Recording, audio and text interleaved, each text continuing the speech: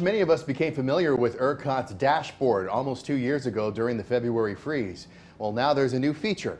At ERCOT.com, you can see Texas power grid conditions in real time. The new feature is called a fuel mix dashboard. It shows you data on what sources are generating our power at any particular moment. You can see the percentage of natural gas, solar, wind, and other sources of electrical generation. You can check this out for yourself right now with this story on KXAN.com.